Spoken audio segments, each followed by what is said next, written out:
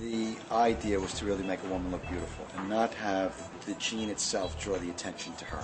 We wanted to use the, the technology of what was happening in fabric in 2004 with images of jeans from 1964 through 1975.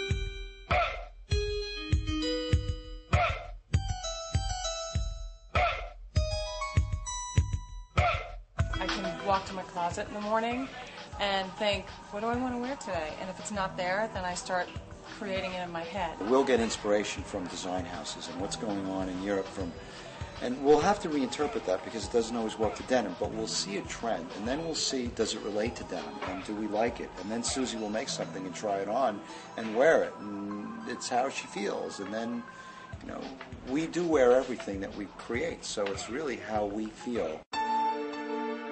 The biggest trend that we see right now is the love story, which is the low-rise bell bottom. We've done it in stretch fabric, we've done it in rigid fabric, um, we've done it in low-rise, and we've also done it in high-rise. But the greatest thing about this jean is it has a two-inch waistband, so it's just slightly more feminine. Again, fitted through the leg and then kicks out to a 22-inch leg opening at the bottom and then has a two inch hem.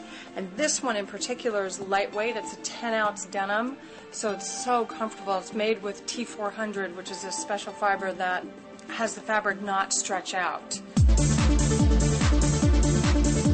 Anyone can wear the skinny. We've seen it look great on people, and it's a very sexy silhouette. I think skinny jeans are really popular because in the last five years, accessories have just blown up. So clothing to a certain degree has to work back to work with accessories. Skinnies are perfect to tuck into your boots. This is our uh, pencil leg jean, which we have a smaller one that is the skinny, but everyone sort of calls this the skinny. And this is the jean that you're going to wear tucked into your boot, or you're going to wear it with flat. And it's just a fantastic silhouette for to wear all the time with a big sweater, with a little t-shirt. So this is the MIC jean. The MIC jean is great. It's a slimming jean. I'm wearing the MIC. We call it the rocker jean. It's dark, it's pure. This particular one's in a great Japanese denim, incredibly comfortable. And it's all about fit. I'm Susie Crippen, And I'm Jeff Rudes. and we are the co-creators of J Brand.